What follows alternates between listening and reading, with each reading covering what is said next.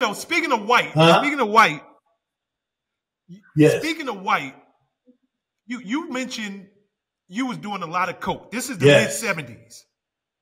How much coke was going around during them days, and how prevalent was it amongst your community? Oh, it was everywhere, man. It was everywhere, and um, I thank God for um, the congresswoman helped me. Oh, shucks, she's black. She's older now. Um, ah, she's the one who got Maxine Waters, who in like 1980 got in Congress and let people know that the CIA was the one who supplying the money the Salvadorians to oh, buy yeah. and the coke was being sent by back to this country. And the thing that really messed it up was smoking coke. The sniffing was cool, not cool, but it was not as dangerous as smoking it, right? And there was a whole lot of that around because people had just under, met that, dealt with that, right? So there's a whole lot of it around, yes. And um, I, you know, admit that I got really deep into it. And at a certain point, I began to realize I'd made a serious mistake and then didn't realize how long it would take me to rescue myself from it. But in the early 1900, early 2000, I finally did it. And so I haven't seen cocaine since 2003, four, or five, something like that. So it's been quite a long time since I've. Damn. You, you know, the last time I sat with you, you was telling me about John Belushi. and you said he was yes, a wild yes. boy. He he was sniffing oh, that cocaine left and right. Is there anybody else that would surprise us that was doing as much coke? I'm not going to drop a dime on anybody else but John, okay? Because people know he OD. Yeah, people know.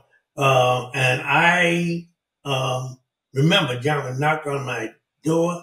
Garrett, you know, he might not talk to me at all for another week, but he'd come and I left my uh, my um, uh, uh, my aluminum foil and no matter how much coke was in it when he started, there'd be just a little bit on the corner. He'd go, mm, and he's out of the room, you know. Um, and I didn't know about speedballing, which is about he got into. That's how he died.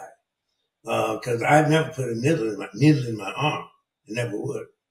Because uh, way back then, when I heard about Charlie Parker, that sort of caused me to, to develop think about not shooting up with heroin or anything.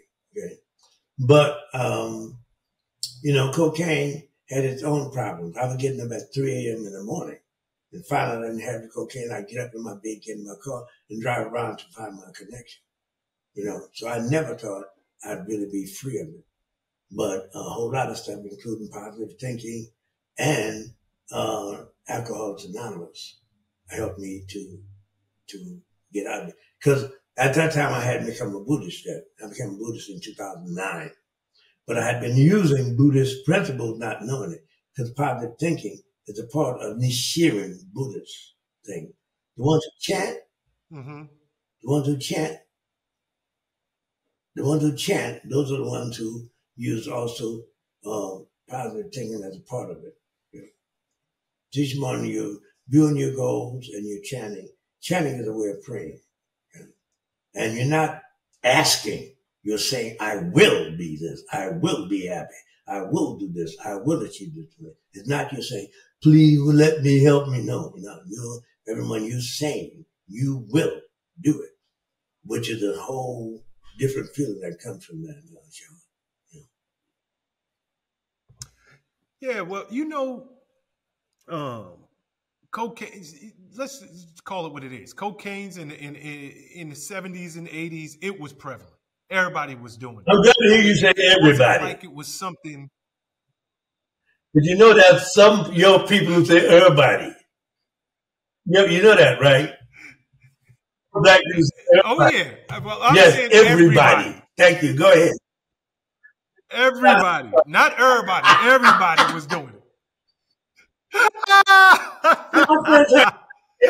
Everybody was doing it. What's up, guys? Thanks for sticking with me to the end of the video. Truly appreciate you. If you like anything you heard here today, go ahead and hit that subscribe button. And if you know anybody that can benefit from this message, feel free to share. Peace and love. Make every move a power move and I'll catch you all on the next video.